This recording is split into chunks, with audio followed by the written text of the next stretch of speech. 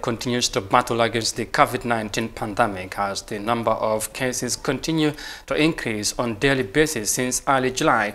On Sunday, the Minister of Health announced more than 100 fresh cases of the novel coronavirus and four related deaths of COVID-19, bringing the total number of deaths to 23. The CISE has more in this report.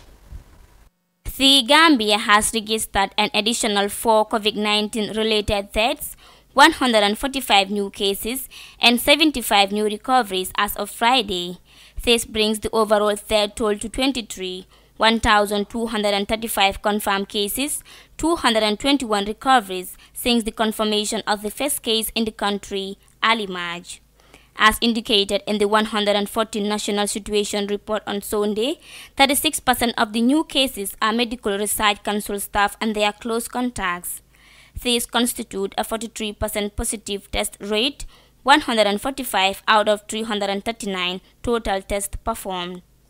The report further stated that, unlike the previous set of reported cases, which were predominantly asymptomatic, over 40% of the new cases are symptomatic, with many presenting loss of taste or smell and intermittent coughing.